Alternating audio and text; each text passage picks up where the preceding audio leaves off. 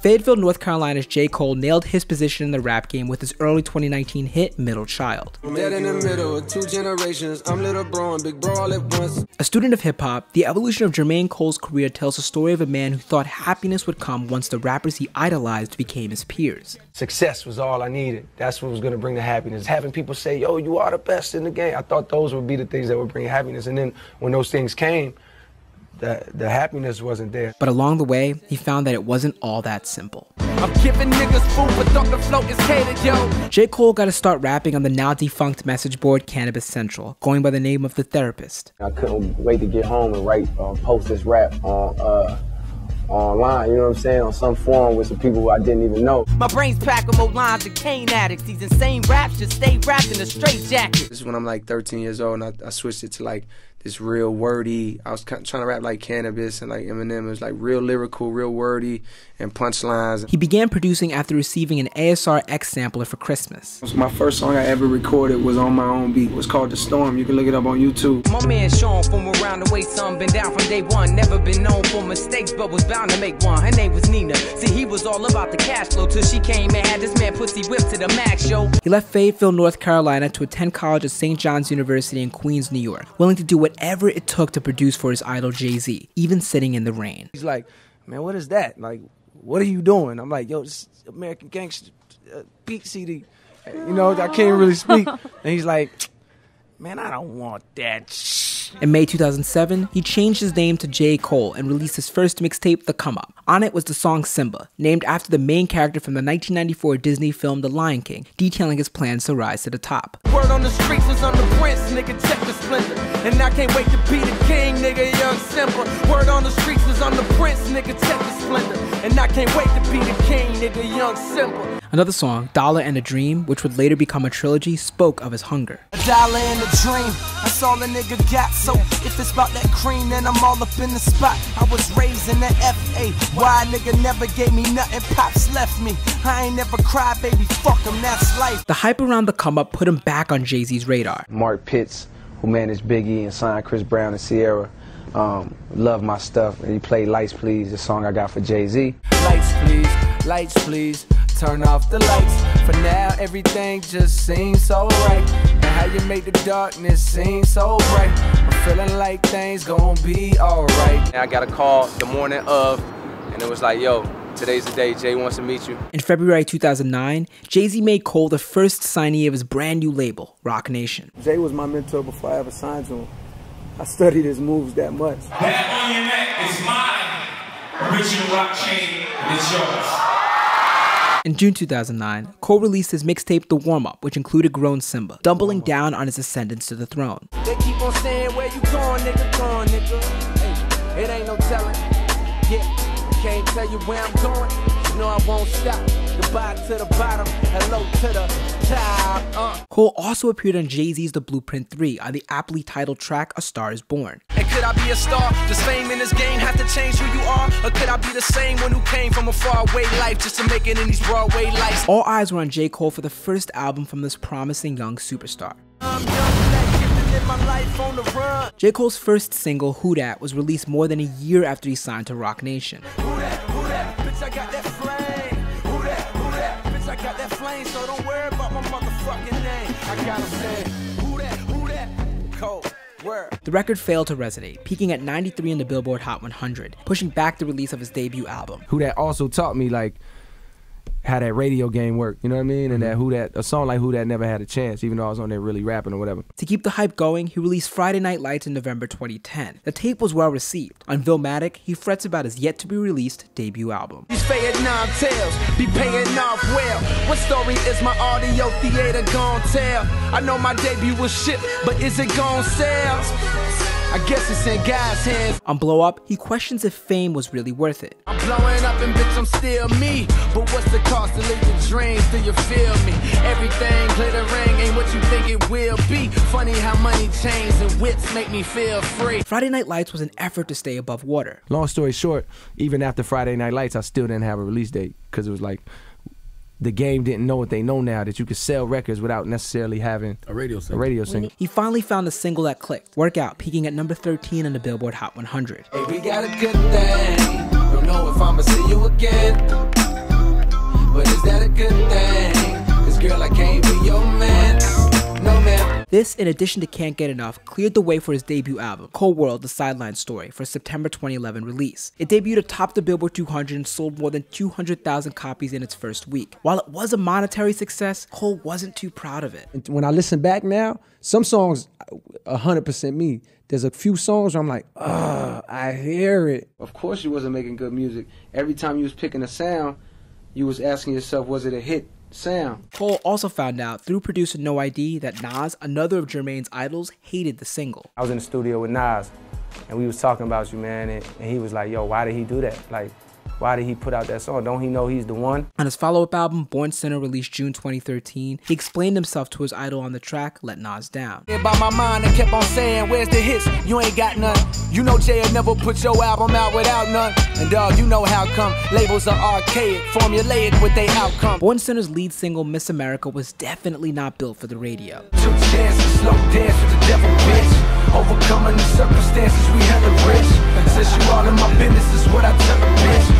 If you ain't fucking me, don't fuck with me. This life when it is. Born Sinner also included two top 30 Billboard Hot 100 hits, Power Trip and Crooked Smile. Around this time, Cole doubled down on his fan support with the first iteration of his Dollar and a Dream tour, where concertgoers could see him for the price of $1. Trapital's Dan Runcie believes that this tour is what set Cole up for the success he has today, writing, quote, The Dollar and a Dream tour showed that J. Cole's true fans would support him if he stayed true to his roots. Cole cited Jay-Z as a reason for switching things up. Jay-Z is the same dude that used to rap like this, but Reasonable Doubt was the most intricate shit, but he learned Man, let me feed it to the people better. On the streets of Ferguson, Missouri, outrage and anger. No justice! No peace. Protesters of different ages and races demanding answers in the shooting death of 18 year old Michael Brown at the hands of a policeman. The August 2014 death of Michael Brown at the hands of Officer Darren Wilson affected J. Cole greatly. Are we all alone, fighting on our own?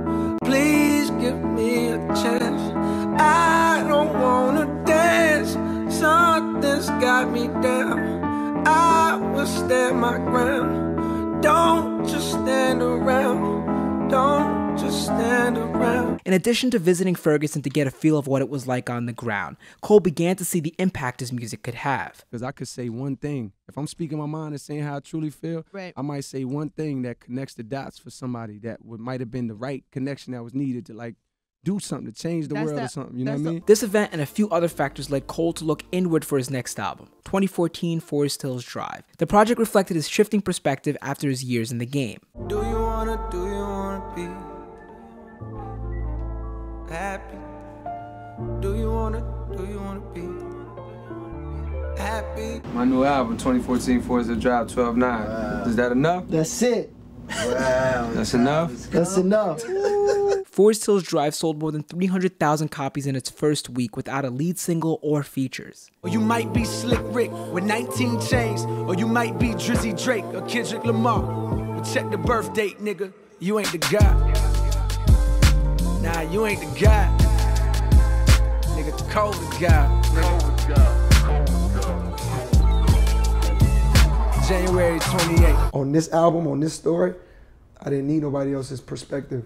You don't have to follow them rules. You can put out what you love and still sell records if you if you connecting with people. And apparently, he reflects on leaving his mother in North Carolina for his dream of stardom in New York. Think back to Forest Hills, no perfect home. But the only thing like home I've ever known until they snatched it from my mama and foreclosed her on a loan. On Love Yours, he raps about finding happiness and being grateful for what's around you. No such thing as a life that's better than yours. Think being broke was better. Life that's better than yours. No such thing, no such thing. I wasn't happy when mad happy shit was happening to me. What is it that's holding you back from appreciating this shit? And it, and it was like ego is 100% ego. J. Cole, not confident in his position, settled in and focused on his own life, came back in a December 2016 documentary which included two fiery tracks criticizing the music industry False Prophets, going after Kanye West, and our culture's fixation with celebrity. There was a time when this nigga was my hero, maybe.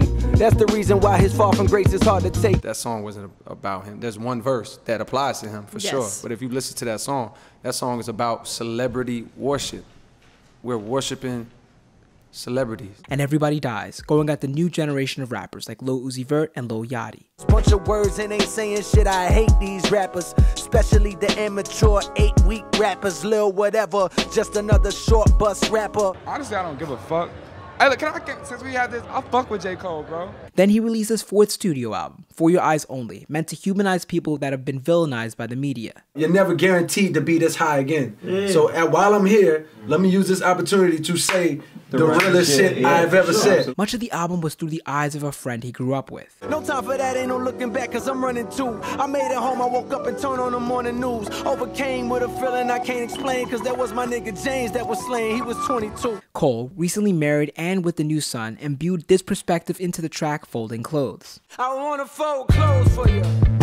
I wanna make you feel good. Baby, I wanna do the right thing. Feel so much better than the wrong thing. For Your Eyes only went on to become a huge success, eventually becoming Cole's second straight platinum album without any features. But although it was working, making music in seclusion was beginning to get a little old.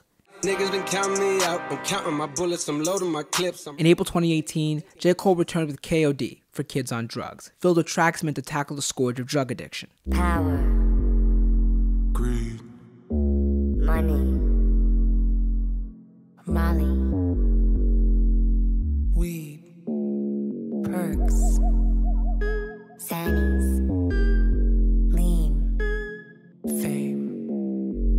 And the strongest drug of them all. Love. The tape resonated deeply with fans. He was like, bro, I just heard your shit. And he was like, I realized I'm doing the same thing that she was doing. Like, I'm, this how I've been dealing with the pain. Like, I just been numbing this shit. On Kevin's Heart, he spoke about infidelity, a regular topic in his music, notably touching on the comedian Kevin Hart's actual infidelity. At home I look happy as usual. On the road on my Mac, I'm a chooser. I'm an addict, I'm masking it. Kevin's Heart. But it was the final track in 1985 which made the most waves, once again addressing the younger generation, but this time it was from a position of empathy. Man, they barely old enough to drive. To tell them what they should do, who the fuck am I? I heard one of them diss me, I'm surprised. I ain't tripping, listen good to my reply. Come here, little man, let me talk with you. See if I can paint for you the large picture. Cole had realized that his earlier comments against the younger generation of rappers may have been misguided. I know now that I was wrong. All I was doing was being afraid that the thing that like I fell in love with was like no longer like relevant. KOD was well received, breaking numerous streaming records, becoming his third straight platinum album with no features, by this time an already baked in meme. But J. Cole felt that it was getting a little old, saying, quote, Alright, it's almost embarrassing now. Like, alright, man, y'all gonna make me put a feature on the album just so this shit can stop. In January 2019, he released the aforementioned Middle Child, affirming his position in between two generations of rap. Just left the lab with young 21 Savage. I'm about to go on me Jigga for lunch. Middle Child was a tremendous success, becoming Cole's highest charting Billboard Hot 100 single at number 4. Child also served as a way to push him out of his comfort zone. Jay has self produced much of his own discography, and this time he shared the decks with Canadian Grammy winner T Minus. Brian made a beat in like five months. Like I probably like five months. Like so six months. Get these bars. Yeah. The order of business was for more collaboration.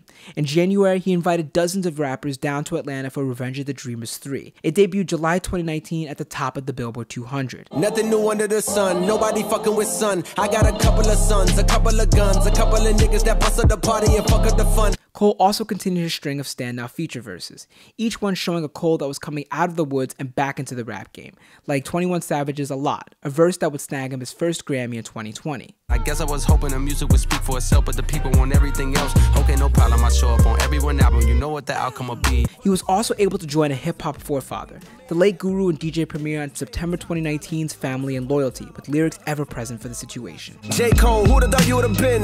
Rhyming with ghosts. Guru flows forever like a diamond and most. Could never afford the precious jewels, that's precisely why I'm blessing you with clear cut messages. Jermaine Cole entered the rap game with a desire to be the best, thinking it would bring him happiness. From a young cub to a grown Simba, J. Cole's evolution shows us a man who studied the game and carved out his own place in it. I'm Jacques Morel with Genius News, bringing you the meaning and the knowledge behind the music. Peace. Bobby had Whitney, we was cooking up crack, but the 15 credits had a nigga off track. Picture that. Best rappers is Lil Wayne in classes. The best bachelors is Bruce Wayne with his bachelors. But master this rap shit. You hear the words coming from my lips, bastards. I never crack, I got that chapstick. I practice till that shit made perfect.